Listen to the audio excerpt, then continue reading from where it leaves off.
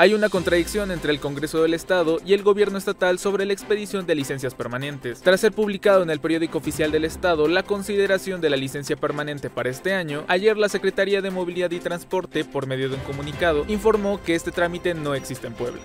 Ayer se llevaron a cabo los cierres de precampaña de los precandidatos únicos de las coaliciones Sigamos Haciendo Historia y Mejor Rumbo para Puebla a la gobernatura del estado. Alejandro Armenta desempeñó su cierre de actividades de precampaña en el municipio de San José Chiapa y por su parte Eduardo Rivera en la Junta Auxiliar Ignacio Romero Vargas. El plazo para realizar el pago del control vehicular será hasta el 1 de abril de 2024. Este trámite tendrá un costo de 635 pesos y las y los contribuyentes podrán pagar en línea con tarjeta de crédito o débito, SPAY, cheques o bien acudiendo a las instituciones bancarias con su orden de cobro. A partir del 2 de abril, quienes no hayan cumplido con este proceso tendrán que pagar el impuesto sobre tenencia.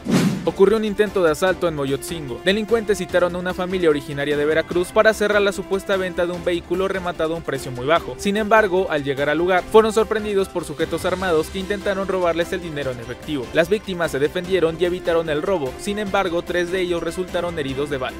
Ayer la secretaria de Gobernación, Luis Alcalde, escribió en redes sociales que fueron rescatados los 31 migrantes secuestrados en dicha entidad. Las víctimas se encuentran sanas y salvas y el rescate se logró gracias a las autoridades del estado de Tamaulipas, la Guardia Nacional y las Fuerzas Armadas.